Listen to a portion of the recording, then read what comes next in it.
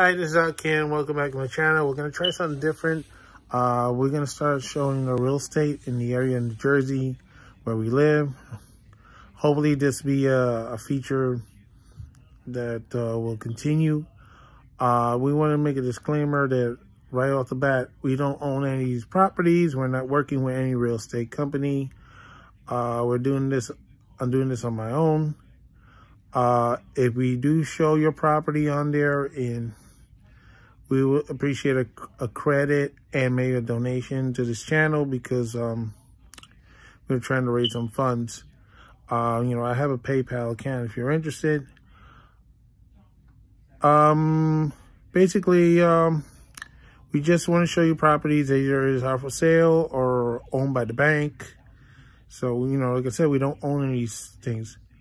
Uh, recently in, in Teaneck Road, there, there was a gas station that, um, that's up for sale for quite some time now. It's going to be turned into a dollar store. So it's a win-win for the, for the community. So we just want to bring the attention to these properties in case, you know, somebody's interested.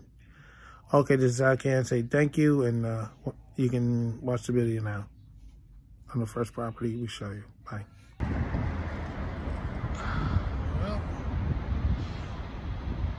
It's on Lafayette Avenue. Uh, looks like a bank owns it because it's boarded up. I don't know how much it's going to cost to restore it. But it looks like a nice place to live once you do.